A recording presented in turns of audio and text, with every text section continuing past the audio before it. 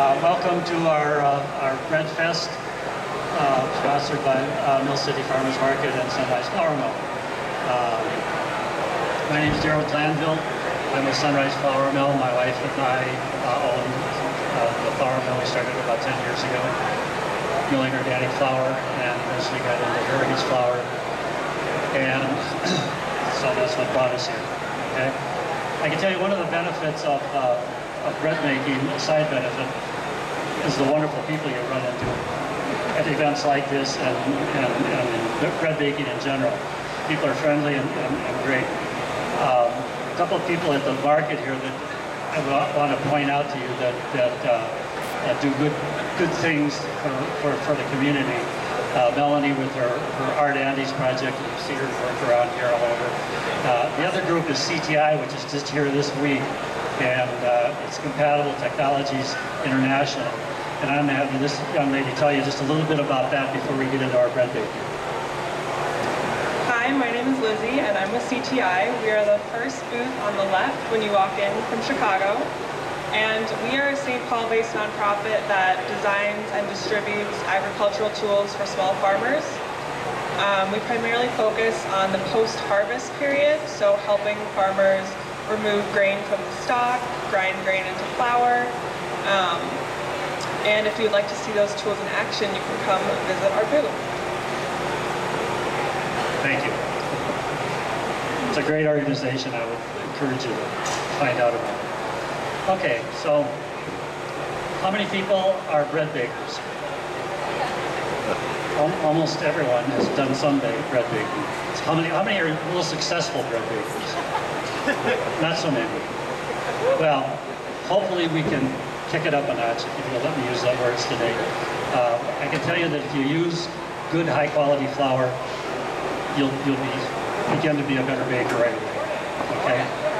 The uh, flour is a complicated uh, business, and uh, heritage grain came about in our setting by my experience with gluten intolerance. And I turned out to be owning a, a and, and, and, and discovered that I was gluten intolerant, okay? Uh, I had some symptoms that I, I had a very lot of difficulty getting rid of. Acid reflux to a point where I was sleeping sitting up. Went to Rochester twice, and the best they could do was say, ta- you know, take antacids. Then I went to Buca one night and pigged out on pasta and bread. Sick as heck the next day, and it finally dawned on me, maybe it's the gluten, folks. So I went gluten-free for a, a couple, a couple of days, felt much better, okay? So I discovered I had gluten intolerance.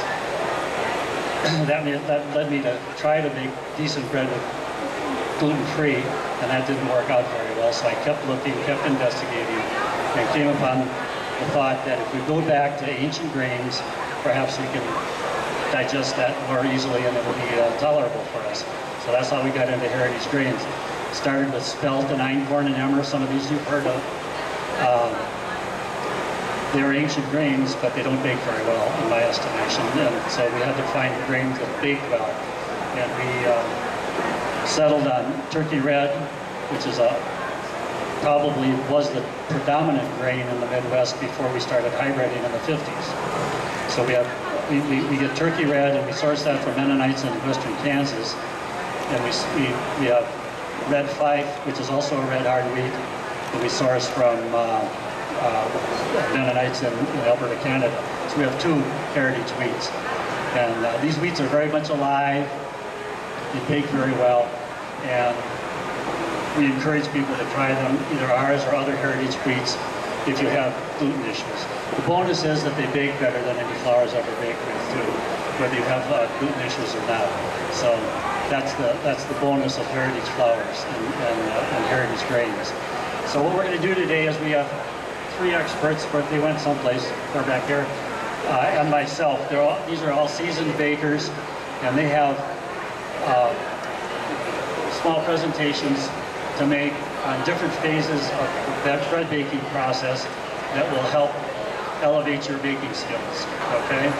Um, Jonathan, uh, well, the first one is going to be Chris, and Chris, yeah, yeah, the first one is me, and I'll go through some of the things we've got over here. And then, uh, then Chris Boles, who has uh, Fire and Flour, a bread drop, and he'll tell you about that. Uh, Chef Jonathan Kaye, who has Heritage Breads over at our booth and sells them weekly here with, uh, made with uh, Sunrise Flour, Mill Flour. And uh, John, who has been the winner of the bread contest here the last few years and was disqualified and made a judge because he won the contest so often, I think is how that works. So, so we'll, they'll, they'll, they'll be doing the pre, you know, presentations well. I have a little display over here that we can look at after you, after you, and my, my cord's not gonna go this far, so I'll try without it. Uh, If you guys can hear if I can speak up, okay? I just got a lot of the tools and gizmos you need to, to, to bake with. All of them aren't necessary, but if you get into it, they're, they're desirable, okay? Um,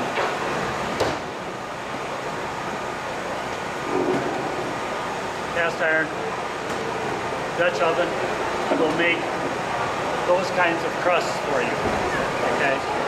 Uh, the, the, uh, trying to, trying to add steam to your oven is very difficult.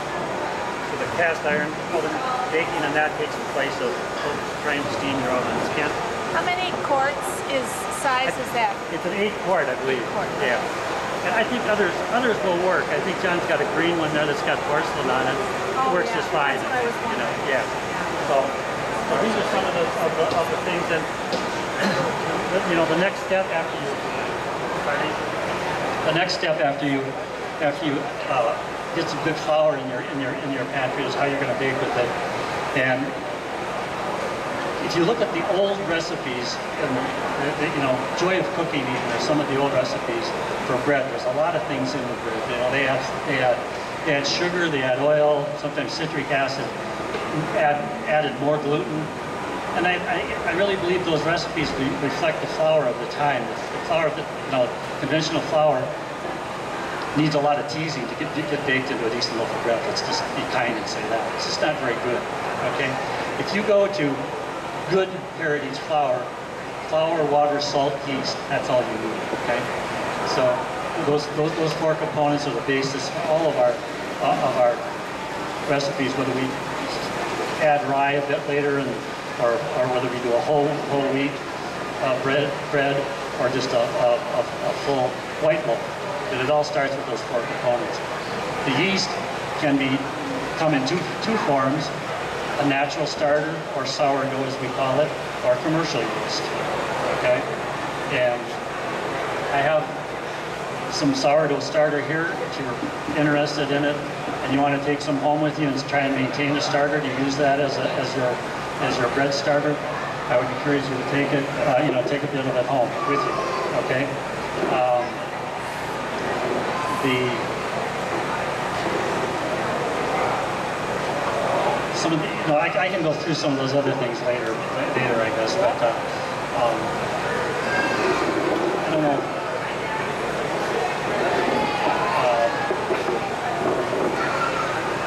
commercial yeast, the, the commercial yeast that, that, that I use is dry active yeast, and I find that works as well as, as, as any as any. Keep it in the refrigerator, okay? Um, I think I'm going to let, it, let, let Chris go. And when we finish, then I'll encourage you to come in, into the back and sample some of the breads of the folks back there. We've got six or eight people back here, and we've got. Uh, there's a sourdough back there and a harvest sheath, which is a very interesting decorative kind of bread, which you'll be interested in, some baguettes, and a challah bread. So uh, all of these are contributions that we ask people to bring in and share with us. So uh, go back and get a sample of bread when we're finished and, and chat with these folks, okay? Uh, I'll let Chris now talk about his uh,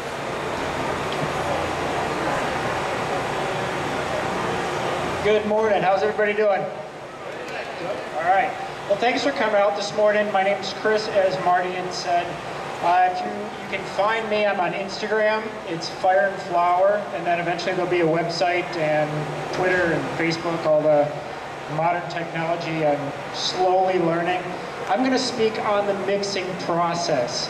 One thing with Fire and Flour that I do is all my bread is handmade, so I use no machine. I have in the past, I've worked at bakeries and then baking at home and I've used machines, but I have found that for me, I enjoy the tactile feel of the bread using my hands. Plus, I know I can mix something, and if somebody blindfolded me, I can just judge how that dough is coming together by just using these. It's nothing that somebody can teach you right away. It's something that takes time, trial and error, trial and error. I've done many, many breads that have turned out quite poorly, but it's a great learning experience. So one thing I always tell people, with mixing, decide if you want to use a machine or by hand. Is one better than the other? No, I would say not. You can produce great bread with a machine or by your hands. But one thing that is going to help make great bread is, of course, great flour. Sunrise, of course. Anywhere you go in the country, there are going to be pe- people who are selling, the small farms who are selling great quality heritage grain flour. That, in my opinion, is what makes a great bread. So hand, machine, like I said, each one, it's up to you, it's your preference. I prefer by hand, it's something that I have developed over time, and it's something that I think lets you enjoy the mixing process that much more because you have 100% interest and involvement in it by using your hands. So with mixing, there's kind of three main ideas with mixing. One is, of course, just the distribution of the ingredients. If you have three different types of flour in your bowl, your mixing bowl, you need to all kind of incorporate those together so you don't have different types of flour or other ingredients, whether there's seeds in there, fruit, other embellishments. You want to distribute it all throughout. The next is to hydrate the flour and hydrate the ingredients. Water is your most basic, but you can use other ingredients to hydrate your flour. You can use milk, you can use juice, you can use beer, you can kind of be very, very creative. So you're going to hydrate that flour, then hydrate the ingredients, and then as soon as you add that water, that liquid, that is going to start forming your gluten. So distribute the ingredients, hydrate the flour and the ingredients, and start that gluten formation. There is one thing, soon as you start adding that liquid to your flour is when you can start judging your dough consistency. Is it going to be a higher hydration dough? Lower hydration dough. Another benefit I feel of using your hands is you can judge that right off the bat. Using Sunrise flour, I've been using that for probably a couple of years now. It's not always the exact same every single bag I get. It varies a little bit. I like that. It's not an exact science, but using my hands, I can tell this flour is going to react a little bit differently than, say, the previous bag of flour I had. So getting that dough consistency right off the bat, using the hands is a way to start building that foundation of making great bread. So after you mix, you've added your water, whatever your hydration is. There's a term that's out there. Some of you might be familiar with it, some of you may not. It's called autolyse. Sometimes people say autolyse. Pretty well it just means take a rest, take a break, let the flour. What's happening is you introduce that liquid to the flour, mix the dough. So here's kind of a very shaggy.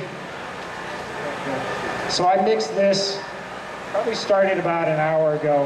I let it have an autolyse, which is just a break. So I added the flour and the water, the water to the flour, excuse me, mixed it together. I didn't add any salt at the time. I just let it sit. What that is doing, that break, that autolyse, is allowing the flour and the proteins within the flour to hydrate.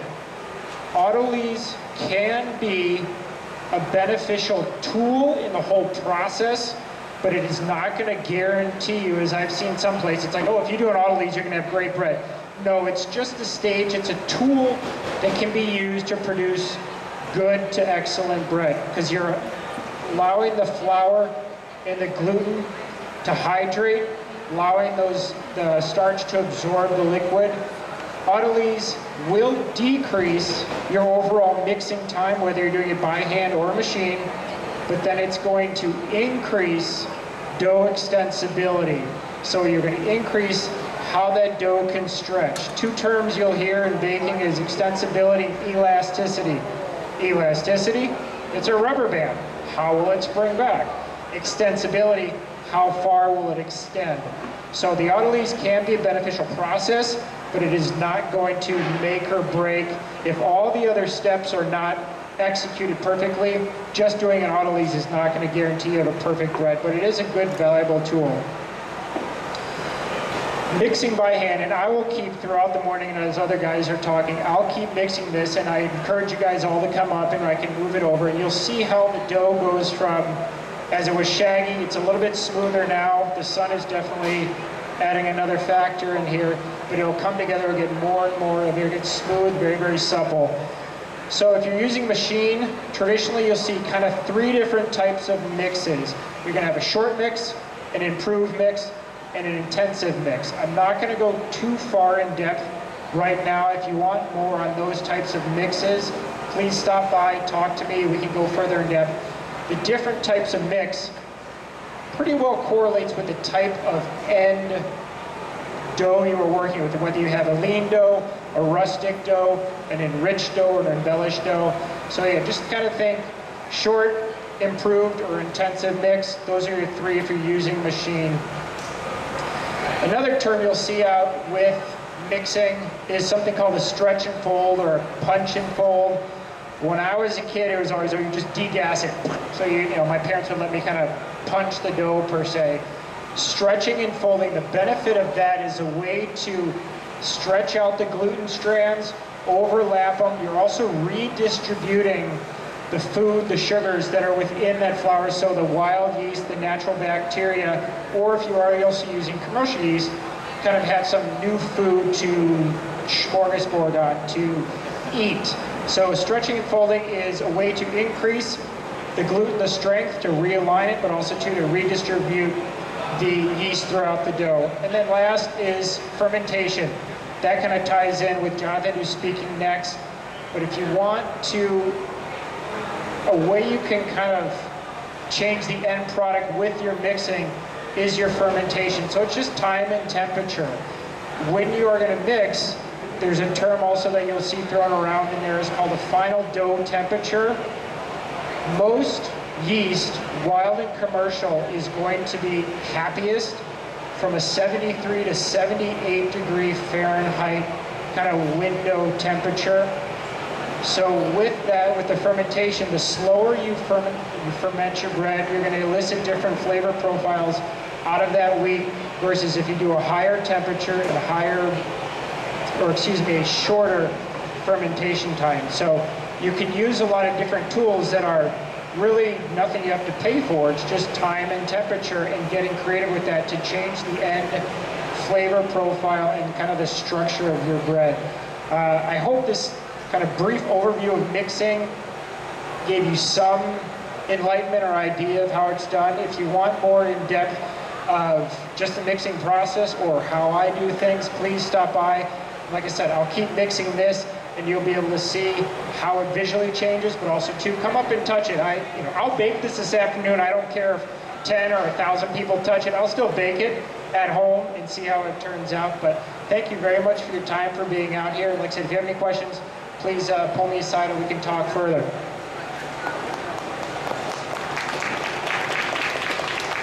Have a look here.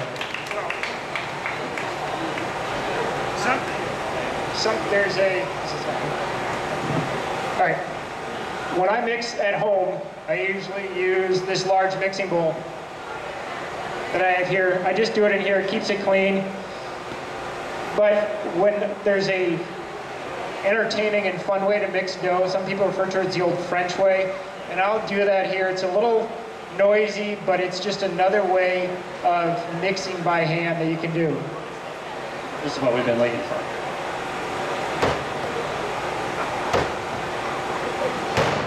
Slap and fold? Yeah.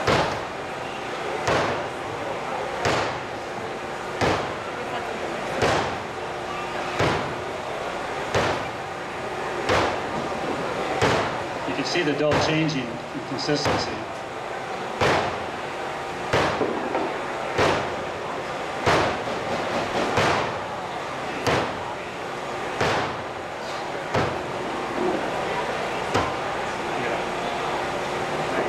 So even with that short amount of time, it definitely smooths it out a little bit. It's still, the gluten is still really weak, so it's tearing a little bit, but you can see even just with that little bit of slap and fold, or kind of the old French way of doing it, it's a way to start aligning that gluten, building that gluten, building that structure in the dough. It's a fun way to mix, but when I have three kids and doing this at three o'clock in the morning, I can't do it that way. So that's why I use a mixing bowl, so I keep the, the wife and the kids happy with a quiet house. But it's a fun, entertaining way. You do it a lot. It's kind of a good workout. You can really get going, especially if you have a large total amount of dough to do. Nice job. Thank you. Jonathan? Hi there. My name is Jonathan. I am the owner of Heritage Breads. I taught at Lakota Blue for 14 years left there in February and started this company. We're over in the Sunrise Flour Mill booth uh, with bread. And I'm going to talk about uh, the next stage from this, which is the resting fermentation part, which is very, very important. So right now that, that dough is very tight. We need to let that relax um, and ferment. And this is the first fermentation. So what I would do is put that in the proofer. Uh, at home, you could put it right in the oven with your uh, light on. That is a good temperature in there to be able to proof it.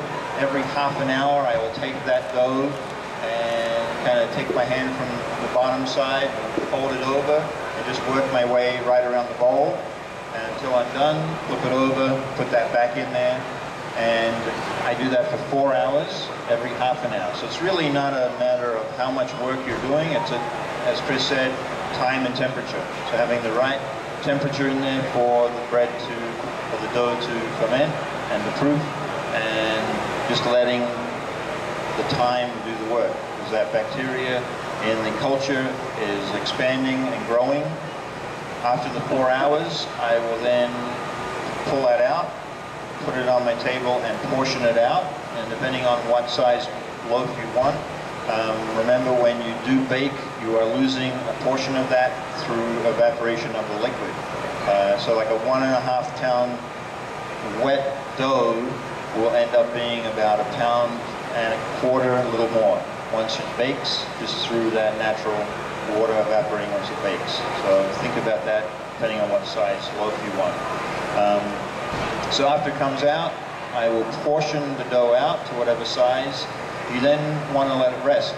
So I just put that on my tabletop counter, a little bit of flour on top, and just cover it with some plastic or a towel. And because if I try to start shaping the dough at that point, it's going to be too tight. Because you've already moved it, you've cut it. Also, when you're portioning it out, very important, you want to try to get as close to the size in one cut as possible. Because if you start having to cut little pieces of that dough to make up your, your amount, it, it, it, it's not going to rise as well. Okay? Um, so once it's rested for about half an hour, you then want to start shaping the dough. And what we're trying to do with shaping is really build the structure into the dough so that way when you do put it in the oven, it's going to have enough structure to rise rather than just falling down once that heat hits it. Um, there's a number of ways to shape the dough. Uh, still is similar to what Chris was doing, but a lot more gentle, where you're folding the edges over almost like making an envelope. Um, there's also taking the dough and rolling it in your hands, like you're making a little uh, little uh, hamburger bun. From that point, there's a couple of ways we can, and I know John will talk about this more, um, ways you can keep the dough. You're either going to ferment it at that point or proof it for another three to four hours to get the structure. What I do and what Chris does is we put it in the fridge overnight. And that's going to add another whole dimension of flavor again.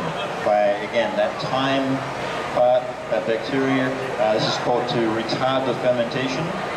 So it's fermenting or proofing, but very, very slowly in the fridge. But that's going to give you a lot more flavor than just proofing and baking the same day. Um, a couple of ways you can do that. Banneton. So you would line this with, yeah.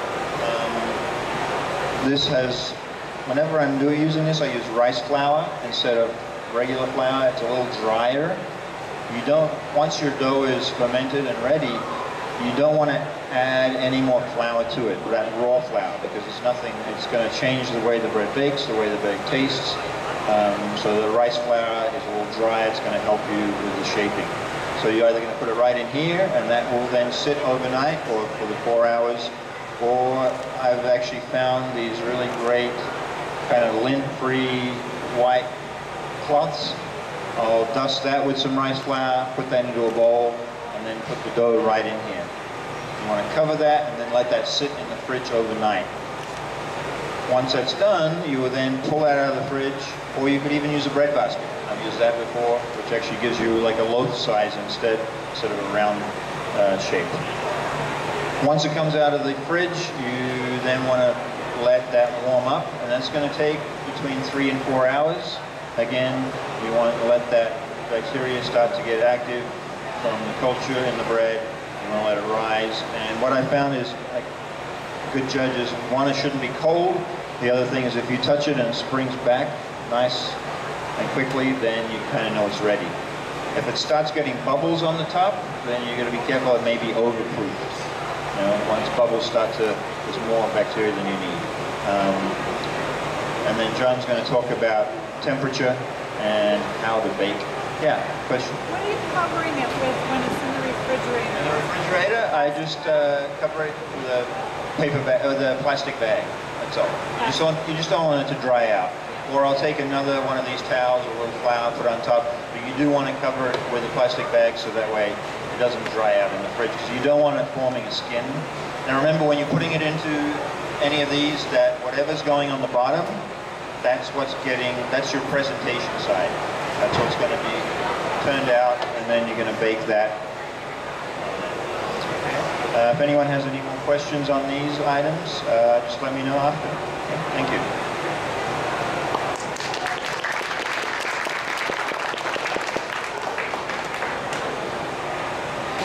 John, the past winner of the uh, bread contest here the last few years before last year. And a member of what, St. Paul, I know, before last year. Jonathan won it last year, but the years before were won by John Jacobson. And he's a member of the St. Paul Bread Club, and uh, we'll hear from him now. And after we, after John finishes, then we, if you have questions, we can ask all three of these guys and come up with the best answers, hopefully. Thanks. Uh, how's everybody doing today?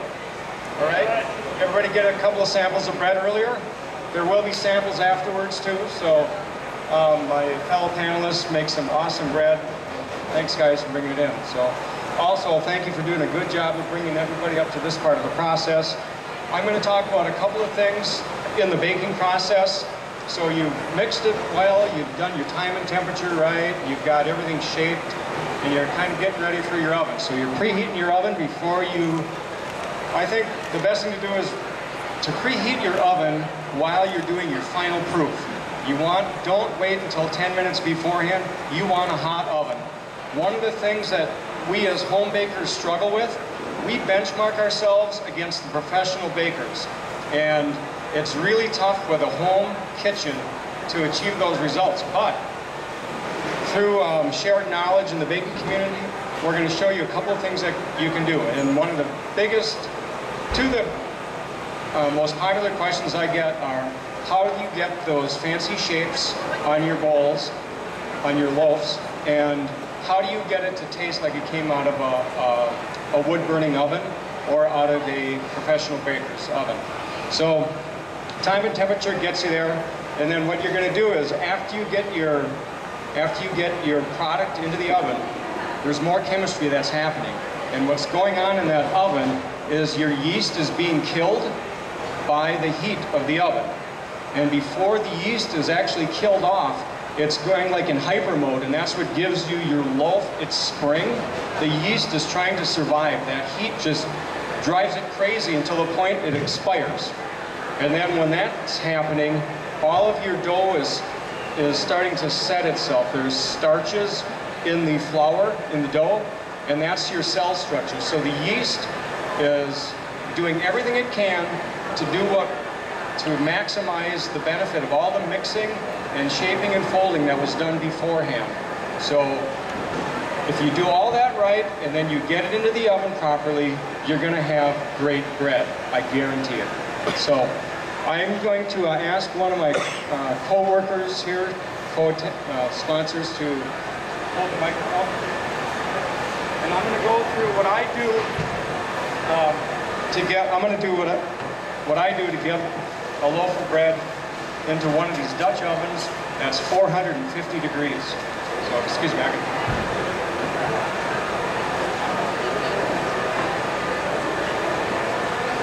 So, an hour beforehand, when you started your final proof, you took your oven, you took your oven and you heated it up to 450 or 500 degrees, whatever the recipe is, and you're going to put your Dutch oven in there, empty. Okay? Now it's time to uh, proof. Now it's time to get that proof dough into here somehow safely. Safety's number one, right? Because you want to be around to enjoy what you just spent hours doing. So, important tools are these gloves. So I have a good set of gloves handy and leave this in the oven until the last minute. So I'm going to take a couple of, I'm going to take this and we're going to imagine that this is the, this is full of dough. And what I'm going to do is what I, there's two ways you can do this. You can proof right in the basket and get those nice rings. There you go. Thank you. So you can proof right and get those nice rings. So everybody wants to know how do you get those fancy rings? With the rice flour. So with the rice flour in there. So you can get these from Lucky Penny Trading for maybe seven to ten bucks online. Um, the other way that I like to do it is to take a piece of linen that I've got at the remnant area at a fabric store. Dough does not like to stick to linen. So um, the dough is in there. Now what I'm going to do is I'm going to roll out a, a sheet of parchment paper. And I'm going to put it over the top of this. And I'm going to go just like this. Okay? And now I've got my ball of dough that's ready to go. Except I got to get it into this 450 or 500 degree thing, and I got to do that rather quickly. So one of the one of the tools that you're going to use in this part of your process is a serrated knife or a razor blade, but I find a serrated knife. I've done hundreds of pounds of loaves of bread with this simple serrated knife that I bought at Tuesday morning.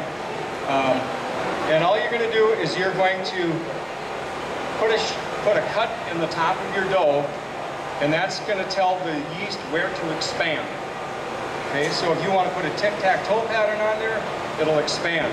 If you want to do a ring around it, it's going to expand. So if you just do one line down the center, and you can agonize over it, but what you're doing is you're trying to control what's happening with that yeast that's going spastic in the oven. So could you grab me that underproof one? Well, Darrold brought in a couple of great samples. No, the other one. So this bread, this bread was sliced, but one thing that happened was it wasn't ready to be sliced. So it's important to know that your bread is ready to be sliced. If it's tight on the inside, you're going to get this blowout. And this is underproofed. So this slicing will control where it goes, but you still have to pay attention to time and temperature and make sure the texture of your bread is ready to go. All right. So right before I slash this dough, I go around, I take a scissors and I cut around it. And this is all I have now. And what I and what I do is I set this, I leave myself a little tab at the end so that I can grab it with the gloves. Okay?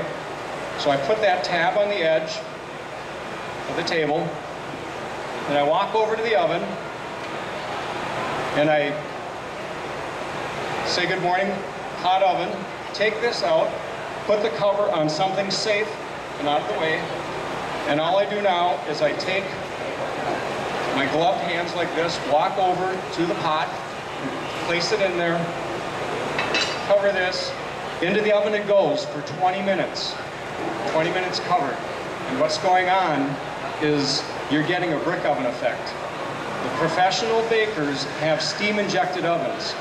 And that's a big advantage. And this. the steam injected into the oven, what it does is it keeps the top of the dough nice and soft and moist. You can imagine if it was in a dry oven, it, would- it would harden.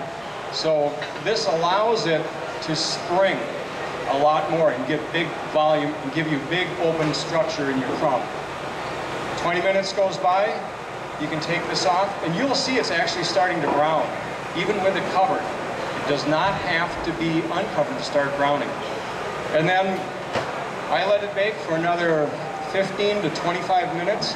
And sometimes if I'm really in the mood for a, a really, you know, big flavored bread, I'll leave it in there for another 30 minutes where it's almost black. Ken Forkish, one of the books that uh, Darrold brought, talks about that technique, and it's really kind of fun when you do it. The first time I did it, I, I scared myself in that. What did I just do? But I tell you what, was one of the best breads that I ever made. So, all right, so now you got to get this thing out of the oven. We worked like crazy to get it in there. It took a lot of time. So you just take this thing out of the oven, and what I do is I just, on top of the oven, take it out, put it down, and put this somewhere safe. Put the lid back on it, and put it safe somewhere, get it out of the way. And a lot of times I'll just leave my leather gloves on it, so my wife knows it's hot. And then this has to, this, I can't emphasize this part of the process enough. This has to cool. Do not take your bread and go, oh, give me the butter, tear into it. No, because it'll compress. Your starches haven't fully set.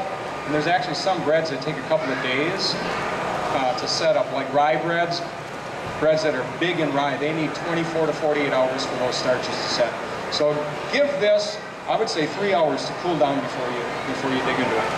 And then when you uh, to to keep this thing fresh, the first day you can put it in a linen bag, and that's a great way to keep the crust uh, crunchy and the uh, the crumbs soft on the inside. And after that, if it's around for more than a day, then I transfer it to a plastic bag. So. Any, que- any questions on any part of that? What size of Dutch oven is that? This Dutch oven, I believe, is a five or six quart, six quart, and it does about a pound and three quarter loaf.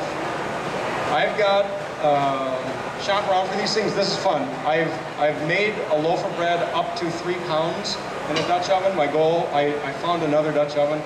I'm gonna try to do four pounds at one time, just to say, just so I can say I did it, without a brick oven. So is that the general size to get? Yeah, well, it depends on how much bread are you going to eat. So, kind of, this is a good size. I use this for my white chicken chili all the time.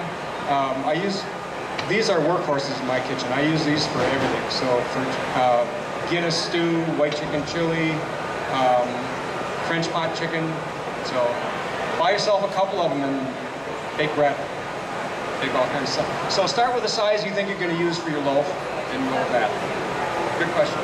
Thanks. How can you tell when a loaf is cool enough? How can you tell when a loaf is cool enough? Great question. Um, well, you can, when it's room temperature, I guess, and you just have to feel it. The, the targeted uh, final temperature is going to be, for a loaf like this, for a lean bread, is going to be somewhere between 200 and 210 degrees on the inside. So, and you can do that with your thermometer if you've got one of the instant read thermometers, which you should have anyway for the first part of the process. So, excellent question. Thank you. Other questions? Martha, any questions this morning? Okay. All right. Thank you, everybody.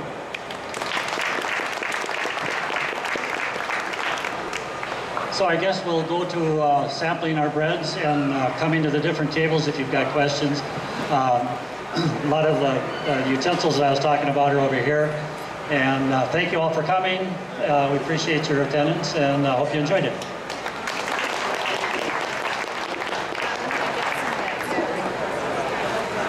Excuse me. Yeah, there's some handouts I forgot Oh, over here.